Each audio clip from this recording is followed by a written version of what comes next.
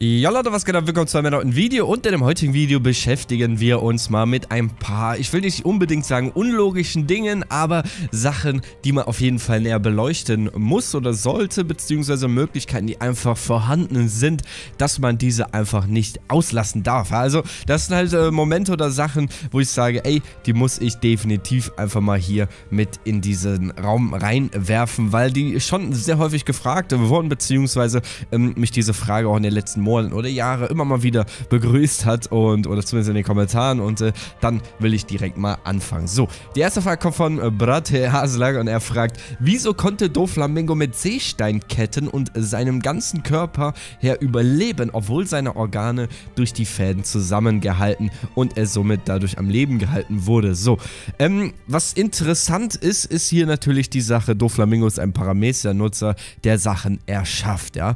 Ähm, das ist wie folgt, folgt. Er erschafft Fäden und ähm, wenn er die wahrscheinlich einmal erschaffen hat, also wenn wirklich ein Faden da ist, dann ist das auch ein wirklicher Faden. Das ist dann ein Faden wie jeder andere auch und ähm, das ist ja das, was auch ein Teufelsfruchtnutzer irgendwie auch speziell macht, ja? dass Sachen, die er, die er erschafft, nicht äh, oder nicht wieder verschwinden, ja, wenn er zum Beispiel die Fähigkeit nicht mehr benutzt. Klar, es gibt verschiedene Arten von Parameter Teufelsfrüchte, zum Beispiel Sugar, hier auch das beste Beispiel, als sie ohnmächtig wurden, sind natürlich oder ist natürlich ihre ihr ganzer Konstrukt, ja, das ist natürlich in Luft auf äh, oder äh, einfach geplatzt, ja, also ähm, die ganzen Spielzeuge haben sich zurückverwandelt etc. Aber es gibt halt auch Parameter-Teufelsfrüchte, die durchgehend existieren, beziehungsweise wo die Fähigkeit durchgehend existiert. Und ich kann mir einfach vorstellen, dass das bei Doflamingo hier der Fall gewesen ist, ja. Zum Beispiel bei Ruffy, hier kann man das vielleicht auch näher, äh, näher beleuchten. Ruffy besteht immer aus Gummi, auch wenn er schläft, auch wenn er ohnmächtig ist. Also es gibt verschiedene Arten von Parameter-Teufelsfrüchte und bei Doflamingo wird es wahrscheinlich dann einfach so gewesen sein, dass er hingegangen ist, diese Fäden erschaffen hat und die Fäden dann einfach existiert haben. Er hat seine Organe zusammengehalten bzw.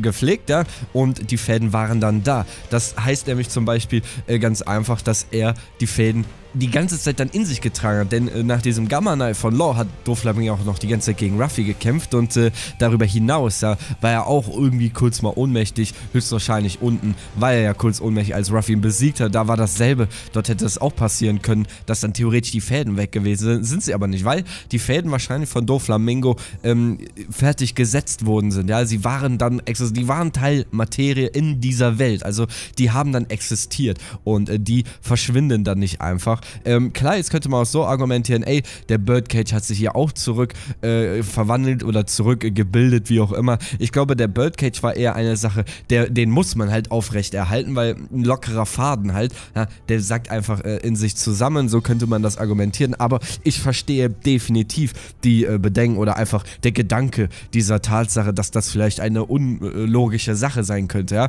Auf der anderen Seite könnte man natürlich auch sagen, und das geht eigentlich immer in einem äh, Manga, ey, es ist ein ein fiktionales Werk, ja, es ist One Piece, deswegen nicht alles so ganz engstirnig sehen, wobei ich hier Eiichiro Oda ähm, mit einer der wohl mit am präzisesten oder am logischsten äh, handelnden Mangakas finde persönlich, zumal hier bei so einem riesigen Werk wie One Piece finde ich das, aber die Frage ist durchaus berechtigt, also so könnte ich es mir erklären, andernfalls ist es einfach Plot, ja, ähm, falls euch da irgendwie was anderes rein einfällt, da einfach mal in die Kommentare damit. Und dann würde ich sagen, gehen wir direkt zur nächsten Frage. Die nächste Frage kommt von Kai und er fragt, wie erhitzt Owen eigentlich das Wasser? Ich meine, sobald seine Hände das Wasser berühren, sollte er doch schwächer werden und das ist eigentlich vollkommen korrekt. Aber ähm, Teufelsfruchtnutzer sind da ein bisschen komisch, ja, und das habe ich selber auch noch nicht so ganz durchschaut, ja. Ich nenne einfach mal ein paar Beispiele, ja. Ruffy nach den zwei Jahren, wo er, wo die halt gegen den, äh, hier gegen Sudome gekämpft haben, gegen diesen riesen Kraken da im Wasser,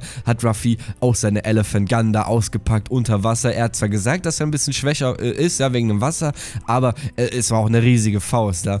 Ähm, und eine andere Seite, äh, Sache zum Beispiel, Kusan, ja, genau dasselbe. Ja, er wurde äh, oder er ist ins Wasser geflogen und äh, dann hat er sich auf einmal aufgebaut, obwohl er äh, offensichtlich Kontakt mit Wasser hatte. So, ich kann mir das so vorstellen, dass es eine gewisse Schwächegrenze gibt und dass man gewisserweise vielleicht mit Haki oder auch mit einem gewissen Training sich diesem Fluch des Wassers widersetzen kann. Wir wissen ja, dass Teufelsfruchtnutzer durch Wasser geschwächt werden, ja einfach gelähmt werden. Was wir aber auch wissen ist, die Teufelskraft an sich wird nicht aus ausgeschaltet. Also er kann die trotzdem noch benutzen. Also die Teufelsfrucht, die schaltet sich an für sich nicht aus, sondern einfach der Körper ist einfach nur gelähmt. Ja? Wir haben dafür etliche Beweise gehabt. Der beste, das beste Beispiel hier einfach Ruffy unter Wasser auf dem oder beim, beim Arlong Arc, ja, wo er gegen Arlong gekämpft hat und dann unter Wasser da war, wo die ihm am Kopf da aus dem Wasser gezogen haben, obwohl er halt unter Wasser war. Also Teufelsfrüchte oder Teufelsfruchtnutzer behalten ihre Fähigkeiten, selbst wenn sie unter Wasser sind.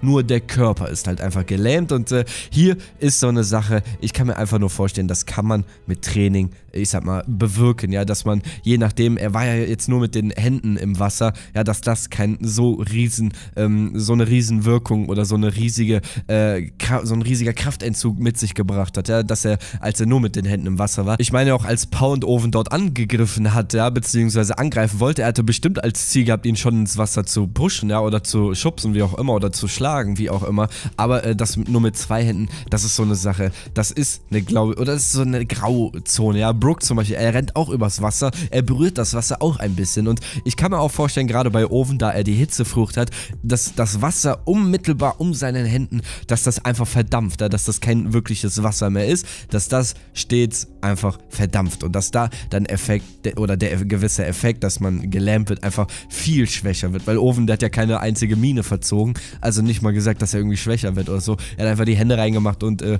das Meer dann kochen lassen, also das war schon äh, nicht schlecht, aber ähm, definitiv eine Sache, die man hier einfach mal ansprechen bzw. klären sollte, weil das eine Sache ist, die definitiv Diskussionsbedarf hat und natürlich auch irgendwo vielleicht ein bisschen unlogisch ist. Und ähm, ich muss einfach mal gucken, vielleicht äh, gibt es da in Zukunft mehr Informationen, dass man hingeht oder das Echiro oder sagt, okay, diese Thematik nehme ich mir mal an, die erkläre ich euch mal zum Beispiel in einem Fanbrief oder in einem Interview oder so, dass man das zum Beispiel auch mit dem Rüstungshaki einfach ein bisschen eindämmen kann, ja, dass man mit dem Rüstungshaki hingehen kann und sagen kann, jo, äh, anhand des Rüstungshakis oder wegen des Rüstungshakis hat das Wasser ein, nicht mehr eine ganz so krasse Wirkung auf einen Teufelsfruchtnutzer. Das ist etwas, was ich sehr interessant fänden würde, ja, gerade wenn wir uns mal die Situation mit Ruffy und dem Kraken anschauen, ja, Ruffy hat ja den Arm hoch rausgestreckt, äh, hat ihn aufgepustet und hat dann gesagt, oh, es ist schwach, ich bin sehr schwach oder das Wasser ähm, macht mich schwächer und dann hat er das Koka eingewendet, also das Hardening hat er dann angewendet und dann hat er auch Surume äh, weggeklatscht, ja.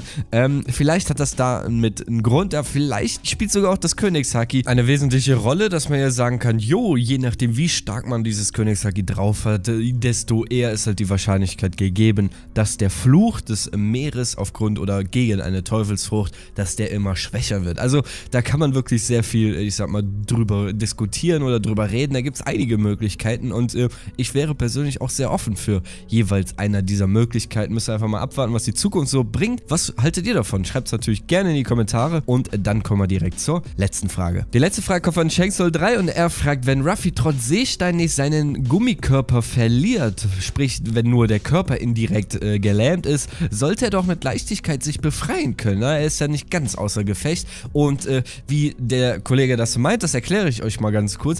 Wenn Ruffy Seestein-Handschellen anhat, wir wissen, Ruffys Körper ist trotzdem noch Gummi.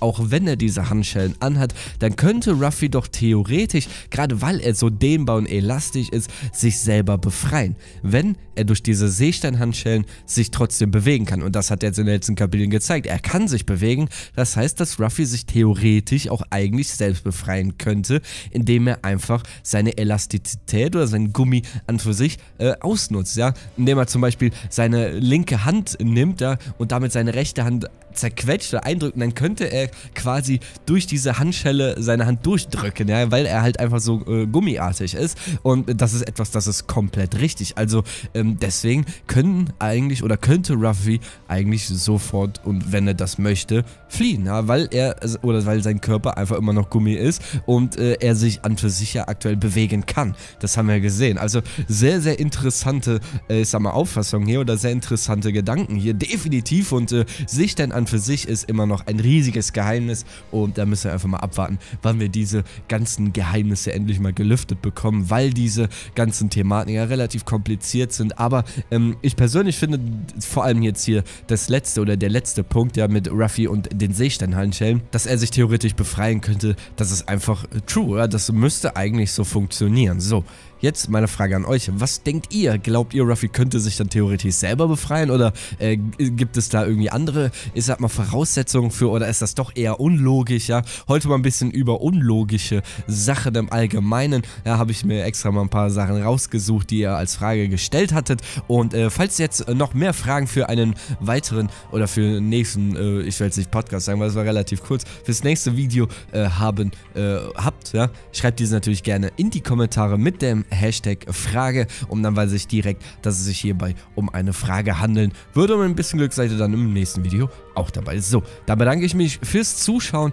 Ich wünsche euch allen noch einen entspannten Tag. Heute Abend gibt es noch ein Video, ja, weil ich die letzten zwei Tage nichts hochgeladen hatte. War ein bisschen beschäftigt und äh, dann bin ich jetzt raus. Wünsche euch allen einen entspannten Tag. Macht's gut, haut rein. Einmal Hashtag One Piece. Falls ihr bis hierhin geschaut habt, haut rein. Ciao und tschüss.